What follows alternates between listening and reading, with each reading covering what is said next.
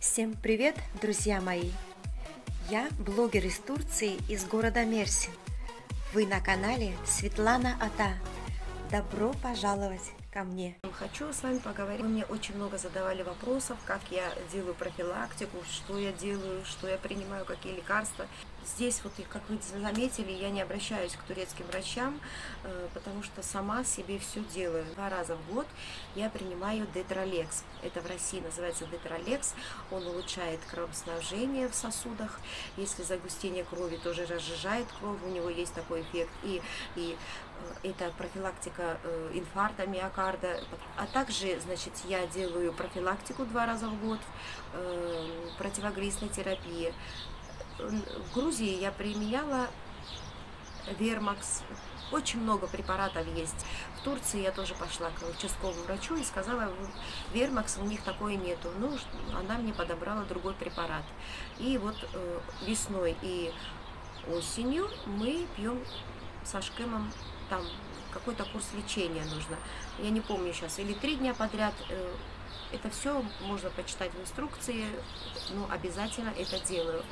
Еще что я делаю? Я э, утром натощак вот постоянно принимаю одну чайную ложку смеси из прополиса, которая состоит прополис, тыквенные белые семечки не жареные и 3 столовые ложки меда. Вот это лекарство, я все, это повышение, для повышения иммунитета.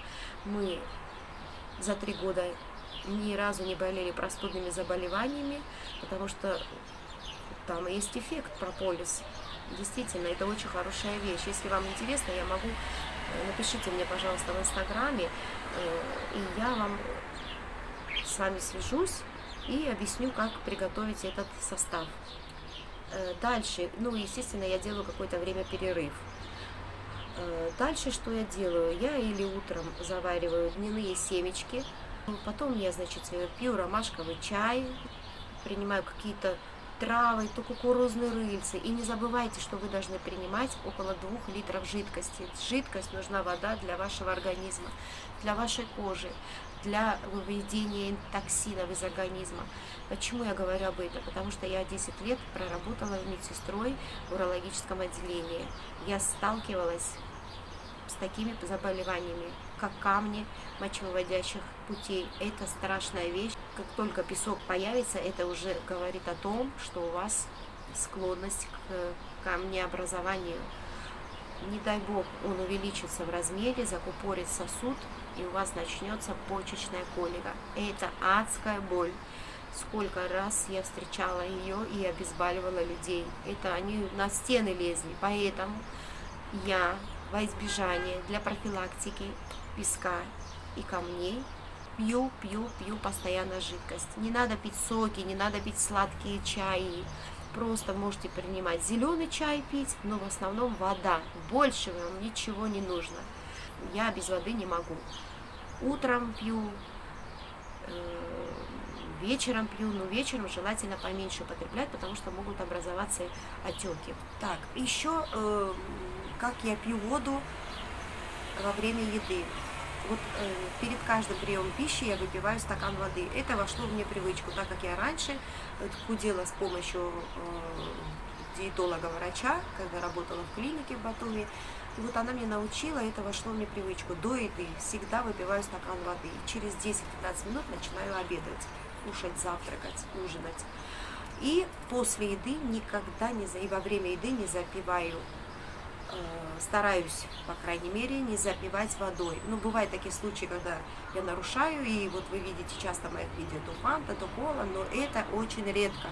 Вот даже моего мужа стараюсь говорить, не запивай, вот он выйдет, я не приношу воду, вот он пойдет на кухню пьет, я говорю, Ашка, подожди чуть-чуть, полчаса, чтобы не смешалась пища с водой, и будет совсем другой эффект для тебя хорошо и для твоего организма.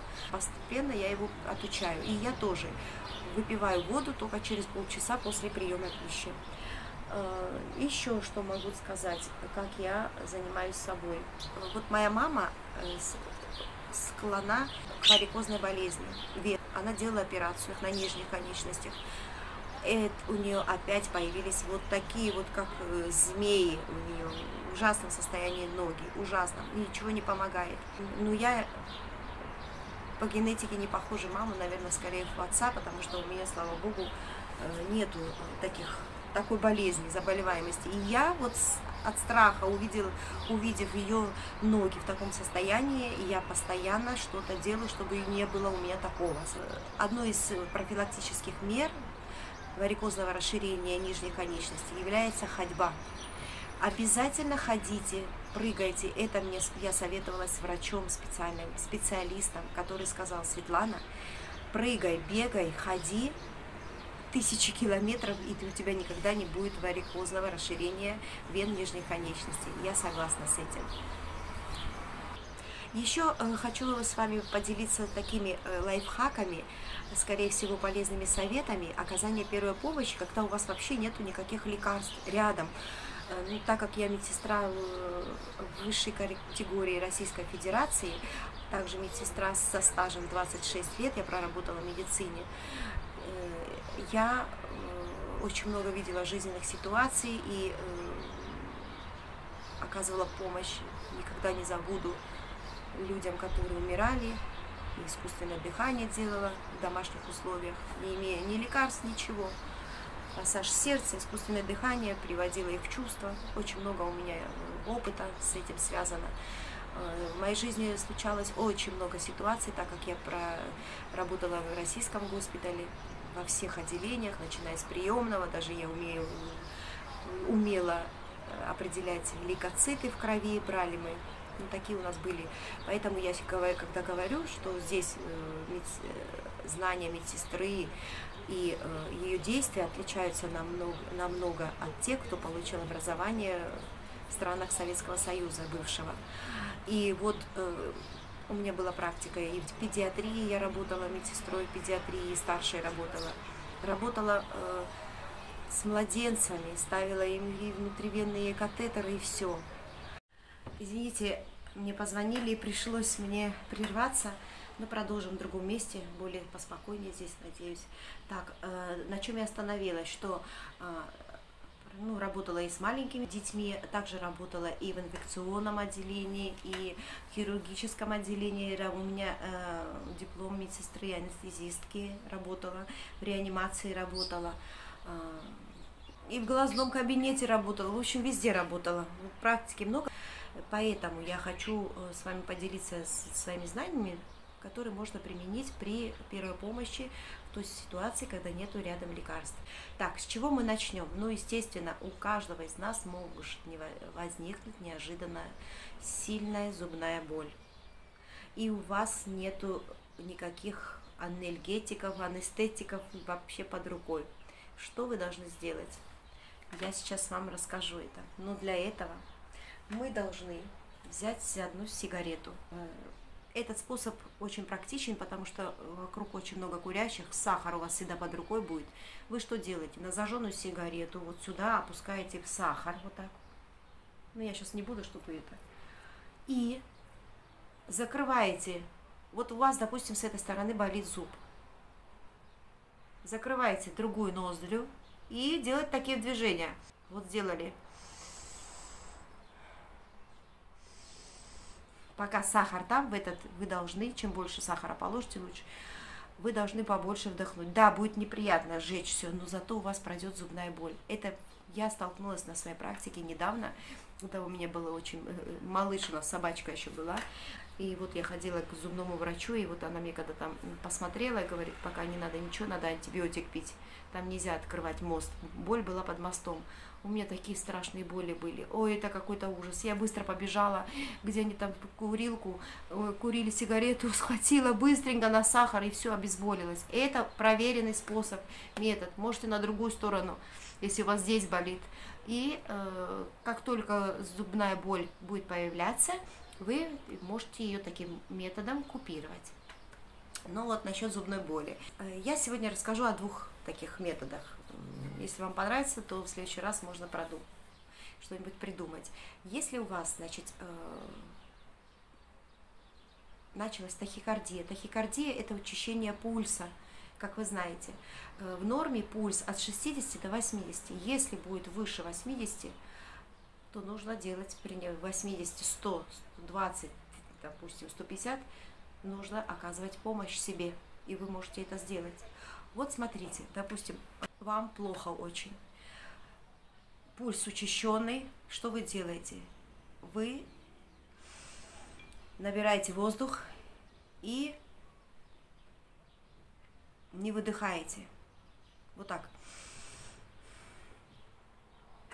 И потом вот этот весь воздух делаете такой, знаете, как спазм создаете себе в организме. Вот я покажу сейчас, как это происходит. Как будто роды у вас начались.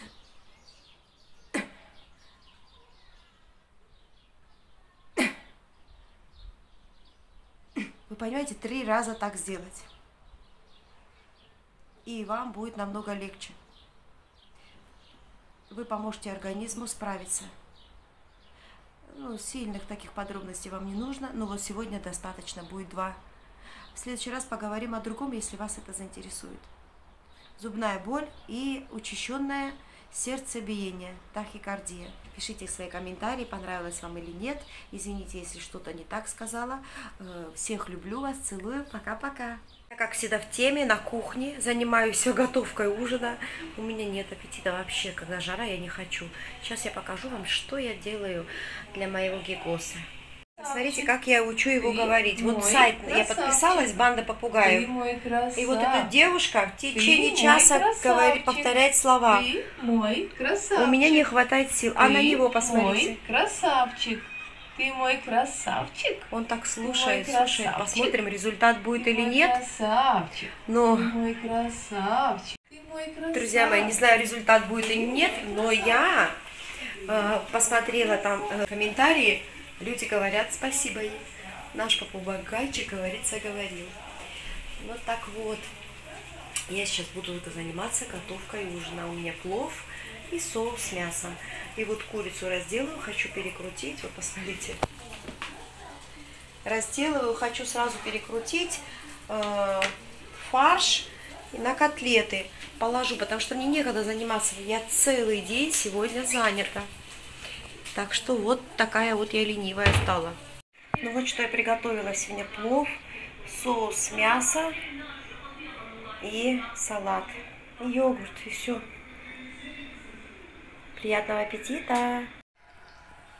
Решили нашего гигоса выпустить наружу. Открыли дверцу. Я позакрывала занавесками все окна, а он не хочет. Гигос, шанслы. Рожками его зовут Шанслы и. Иди сюда, иди. Гельбурд, Гель. Гельбурда, Гель. Гельбурда, Гель. Рубин. Гель, Гель, Гель, Гель, Гель, Гель. Гель. Иди сюда.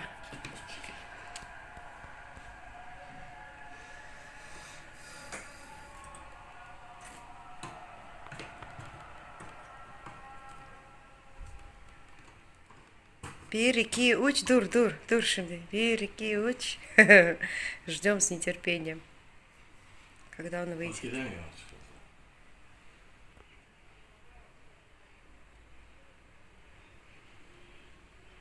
Стемешься.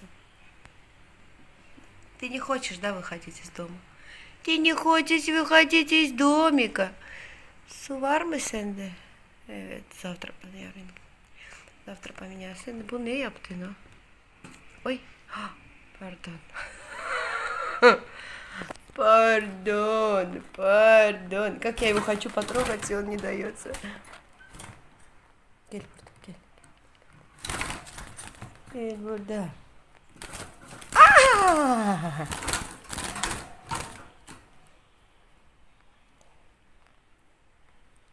У некоторых же есть, выходят эти попугайчики. Так хочется него поддержать, моего мальчика. Гигос. Смотрит на мою руку. Трус. Трусишка ты мой.